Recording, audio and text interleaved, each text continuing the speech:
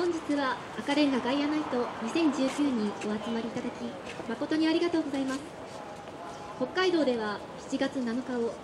北海道クールアースデーと定め道民の皆様に地球温暖化についての関心と理解を深めていただき地球温暖化防止のための行動を呼びかける取り組みの一環として赤レンガガイオナイトをはじめ道内各地でさまざまな普及啓発活動を行っております。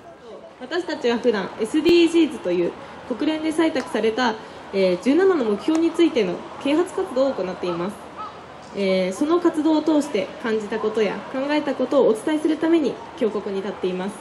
まず世界がどのような状況にあるのかを知るということが大切です。